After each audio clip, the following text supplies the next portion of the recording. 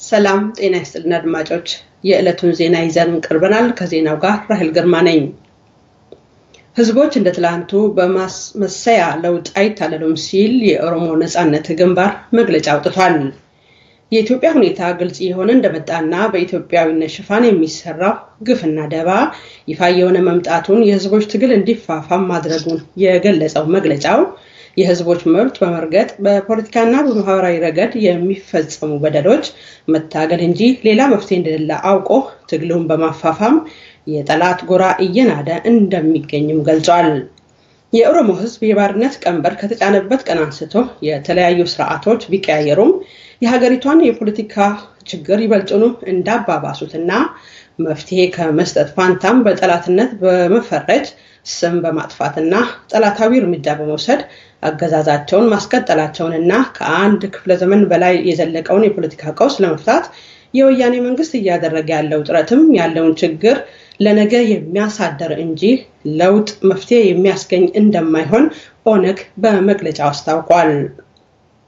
የነፃነት ታጋዮች የኦሮሞ ህዝብ የከፈሉትና እየከፈሉ ያሉት ከባድ መስዋዕትነት ለወንበር አይደለም ያለው መግለጫው የኦሮሞ ልጆች በኦሮሞ ትግል ውስጥ ህይወታቸውን የሰጡት ስልጣን ለመጋራት ሳይሆን የኦሮሞ ህዝብ መብቱ ተከብሮ በራሱ እድል ላይ ወሳኝ እንዲሆን ለማስቻል እንደሆነና የኦነግ የኦሮሞ ነፃነት ሰራዊት እና የቄሮ ብሊሱማ አባላት የተያዙት ትግል ለጥገናዊ ለውጥ እንዳልሆነም በመግለጫው ገልጿል።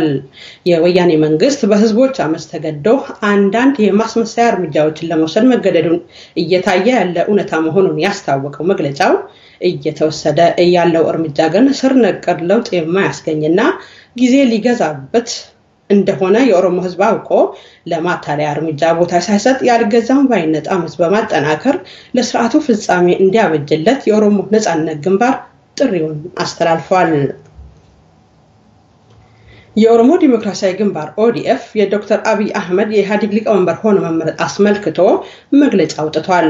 የኦሮሞ ዲሞክራሲያዊ ግንባር ኦዲኤፍ በመግለጫው የዶክተር አህመድ አብይ አህመድ በመመረጥ ጥሩ ሁኔታዎች ሊታይበት እንደሚችል ያለውን እምነትም ገልጿል። እርሳቸው ወደ ስልጣን የመጡበት ወቅት ሀገሪቷ በተለያዩ አጣብቂኞች ውስጥ ባለችበት እንዲሁም በተለይ ሀገሪቷ በውስጥና በውጭ ችግሮች በተወጠረችበት ሰዓት መሆኑንም አስታውቋል።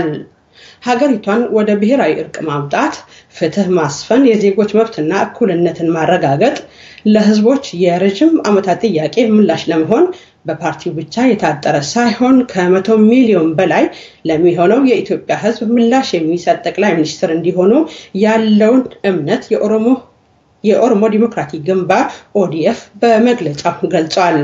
አዲሱ የኢህአዴግ አስተዳደር የአስቸኳይ ጊዜ አዋጅ እንዲሻር፣ ሰብአዊና ህገ መንግስታዊ መብቶች የሚነፍጉ ህጎች እንዲሻሩ የፖለቲካ እስረኞች እንዲፈቱና በሀገር ውስጥና በውጭ ከሚንቀሳቀሱ የፖለቲካ ፓርቲዎች ጋር መወያየት እንዳለበት የኦሮሞ ዲሞክራሲያዊ ግንባር ኦዲኤፍ በመግለጫው ጠይቋል። አርበኞች ግንቦት ሰባት የአንድነትና ዲሞክራሲ ንቅናቄ አዲሱ የኢህአዴግ ሊቀመንበር የኢትዮጵያን ጥያቄ በተግባር መመለስ እንዳለበት ባወጣው መግለጫ አስተዋል። የዶክተር አብይ መመረጥ የተለመደው የወያኔ ሴራ አካሄድ ውጤት ነው ወይስ አይደለም የሚለው በተግባር የሚታይ መሆኑን የጠቀሰው መግለጫው የዶክተር አብይ መመረጥ ኢህአዴግ ውስጥ ያሉት እስካሁን የህወሓት ሎሌ ሆነው ሲያገለግሉ የነበሩ ድርጅቶችና በህወሓት ውስጥም ያሉ አንዳንድ ለውጥ ፈላጊ በጋራ አሸንፈው ከሆነና እነ ዶክተር አብይ በተለይ በኦህዴድ ምክር ቤት ስብሰባ መግለጫ ላይ ያወጡት ለውጥ ፈላጊ አቅጣጫ ተግባራዊ ማድረግ ወስነው ከሆነ እሰየው ነው ብሏል በመግለጫው።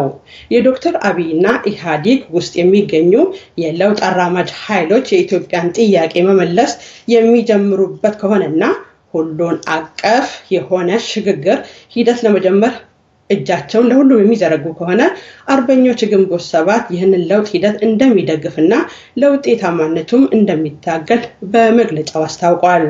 ይህ በእንዲህ እንዳለ ወደ ዲሞክራሲ የሚወስደው የሽግግር ሂደት ተጀምሮ ህዝባዊ ትግሉ አስተማማኝ ደረጃ ላይ እስኪደርስ ድረስ የኢትዮጵያ ህዝብ የጀመረውን የፍትህ የነፃነትና የዲሞክራሲ ትግል ለአንድም ቀን እንዳያቆም አርበኞች ግንቦት ሰባት አርበኞች ግንቦት ሰባት ባወጣው መግለጫ አሳስቧል። ወደ ሌሎች ዜናዎች እንተላለፋለን። አሁን በደረሰን ዜና በሰላሌ በጀነራል ታደሰ ብሩ ዩኒቨርሲቲ ይማሩ የነበሩ ተማሪዎች ከገጠማቸው ችግር የተነሳ ግቢውን ለቀው ለመውጣት መገደዳቸውን አስታውቀዋል። ተማሪዎቹ አንድ ወር ለሚበልጥ ጊዜ ያለ ምግብ፣ ውሃና የኤሌክትሪክ ኃይል እጦት እንደተሰቃዩም ተናግረዋል። ጉዳዩን አስመልክተው ጥያቄ ሲያቀርቡም ምላሹ እስራትና ድብደባ በመሆኑ በዛሬው ዕለት ግቢውን ለቀው ለመውጣት መገደዳቸውን ገልጸዋል። ተማሪዎቹ ለኦኤምን እንደገለጹት ከግቢው ለቀው ወደ ቤታቸው ለመሄድ ሲነሱም ወታደሮች የኦሮሚያ ፖሊስ እና የአድማ በታኝ ኃይል የሚጓዙበትን መኪና አስቆመው ድብደባ፣ እንግልትና ለስርዓት እየዳረጓቸው መሆኑንም ተናግረዋል። ከሶማሌ ክልል በግፍ ተፈናቅለው በኦሮሚያ ሰበታ ከነማ ይህን ዜና እንደገና ደግመዋለሁ። ከሶማሌ ክልል በግፍ ተፈናቅለው በኦሮሚያ ሰበታ ከተማ ተጠልለው የሚገኙ ወገኖች በምግብና ንጹህ ውሃ እጥረት መቸገራቸውን ተናገሩ። ለገጠማቸው ችግር መፍትሄ የሚሰጥ አካል በጉዳዩ ላይ ምንም እንዳላደረገላቸው እና ከችግሩ የተነሳ አንዳንድ ሰዎች ለጤና እክል መዳረጋቸውን ለኦሮሚያ ሚዲያ ኔትወርክ ገልጸዋል። በስደት የመን ሰንዓ የሚኖሩ የኦሮሞ ተወላጆች ለችግር መዳረጋቸውን ተናገሩ።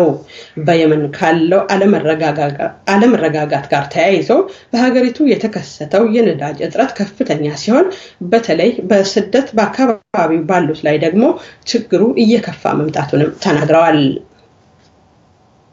በመጨረሻም የኢህአዴግ ሊቀመንበር በመሆን የተመረጡት ዶክተር አብይ አህመድ በኢትዮጵያ በዜጎች ላይ እየደረሰ ያለውን የመብት ጥሰት መቋጫ እንዲበጅለት በተለየ ትኩረት መስራት እንዳለባቸው አምነስቲ ኢንተርናሽናል ጥሪ አቅርቧል።